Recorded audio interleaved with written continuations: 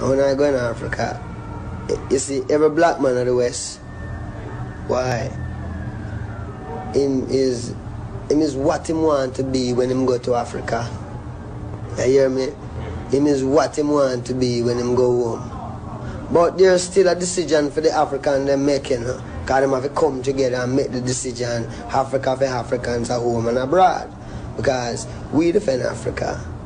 See?